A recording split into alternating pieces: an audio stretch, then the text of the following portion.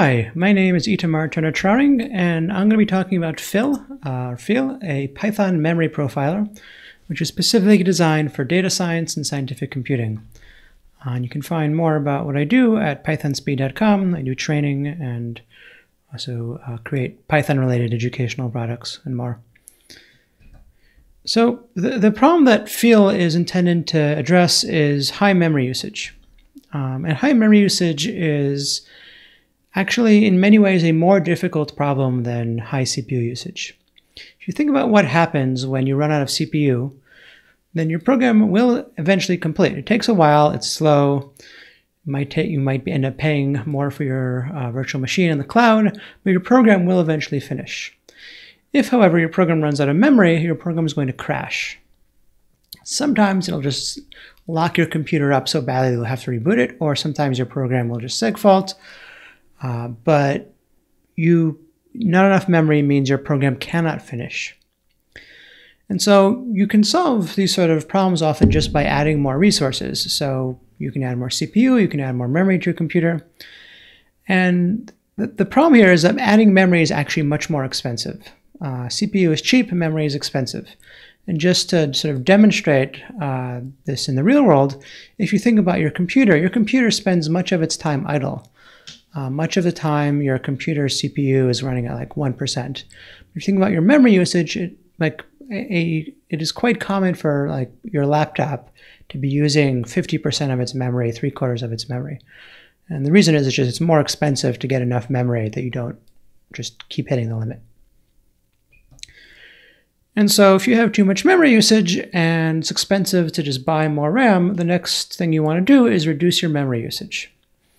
And it turns out there are different ways you might want to uh, think of like different domains have different issues with memory usage and therefore require different tools for measuring memory usage. So if you're running a server, let's say a web application, high memory usage is quite often due to leaks. Uh, handling a web request doesn't take that much memory. But if you have a memory leak, basically over time, your memory usage is going to increase, increase, and increase, and increase, and increase, and increase, and eventually you're going to run out of memory. And so if you're trying to reduce memory usage in this sort of application, you want a tool that will help you find memory leaks so that you can fix them. However, if you're doing data processing, if you're doing some sort of scientific computing pipeline, if you're doing a data science pipeline, uh, the issue with memory usage is that you're processing data and a lot of it. And so basically you're loading some data, doing some stuff with it. And so instead of this sort of slowly growing memory usage, you get these spikes in memory usage when you like load in a chunk of data and do something that uses a lot of memory, and then it drops down, then you have another spike. So it's lumpy, it's spiky.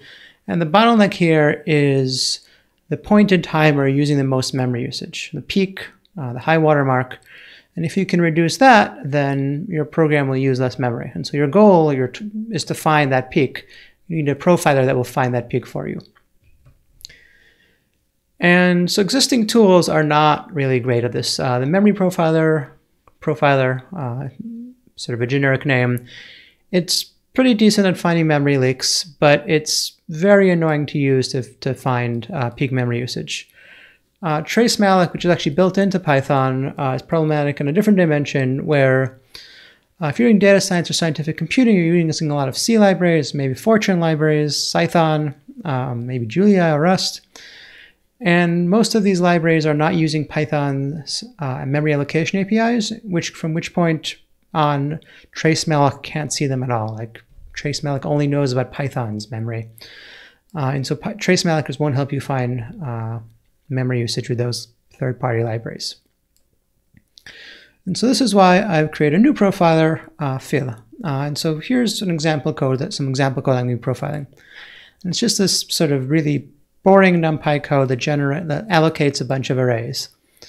Uh, and if you sort of manually try to read through the code, you'd be able to figure out like at what particular point in time the peak memory usage is and how much memory is being used. Uh, but you know, this is a very simple example, and in a realistic program, it's just quite difficult to figure out what the peak moment in time is, let alone let alone where all the memory usage is coming from. So if you have a program uh, and you want to profile it with Fil, um, if it's just a full program you want to run, if you, you want a profile, you can do fil-profile run. uh, your program. You can pass command line arguments if you want, it'll profile it for you. Uh, there's also Jupyter support, uh, which requires a couple of steps, but uh, it'll be the results will be embedded inside your Jupyter notebook, so you can actually profile code in your notebook. And then eventually you get a result, and the result is uh, an interactive graph. So you can see as I move my mouse around, you get different information. And it shows you memory usage at the peak, at the high watermark, at the moment in time when your program is using the most memory.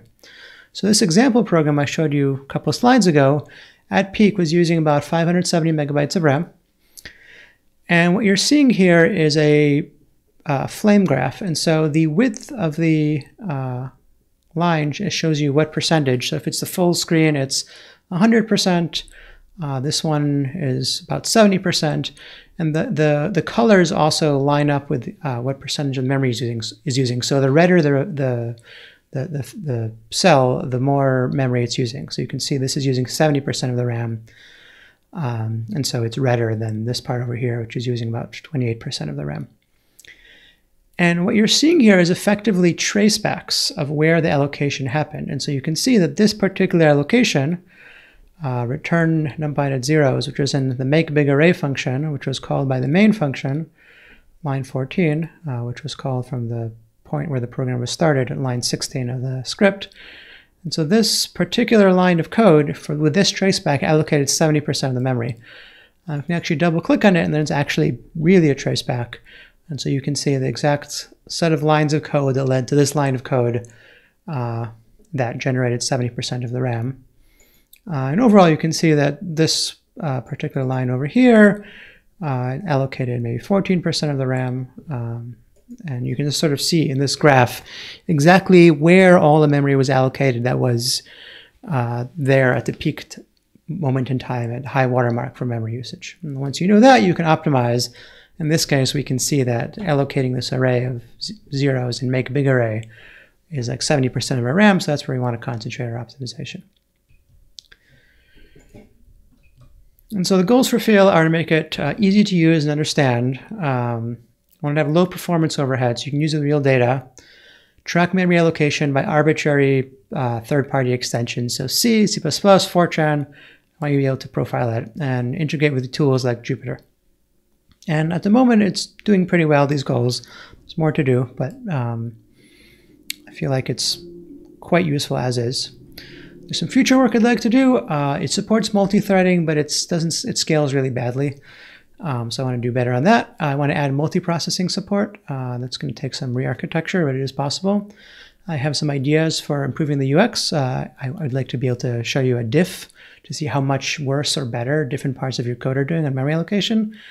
And then I'd like to support things like Dask where you're running your uh, program on multiple machines at the same time.